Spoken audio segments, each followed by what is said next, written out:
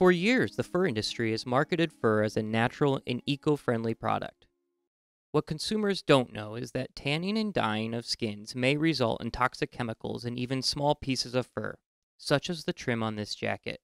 The chemicals can cause allergies, cancer, and hormonal imbalance. In Germany and Italy, tests have shown the problem to be widespread. It's especially dangerous in children's clothing. But how is the situation in Denmark?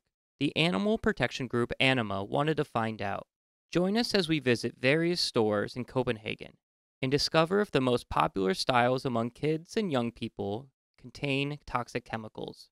We began with purchasing a snowsuit for small children up to 18 months from the brand Ver de Terre, and a fur vest for four year olds by designer Sofie Schnoor. In a major department store, we bought a hat with a bit of fur for three year olds and a jacket with fur trim. We purchased this jacket from Modstrom. The style is called Gone, and it's very popular among young women. The last brand to test was Canada Goose. We chose a snowsuit for small children up to 18 months. We sent these products to a German lab, which specializes in testing hazardous chemicals in clothing. The results from the lab were very clear. All fur products contained toxic chemicals. Here are the results. All products contained formaldehyde, which can cause allergies and cancer.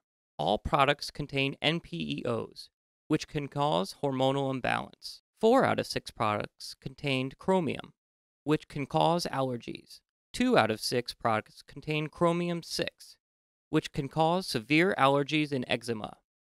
And two out of six products contain PAH, which can cause cancer. The products we tested this time were made for kids and young people, who are especially vulnerable to toxic chemicals. The future will tell how other fur products will perform in the test. In the meantime, fashion companies and consumers must ask themselves Is this good enough for our kids?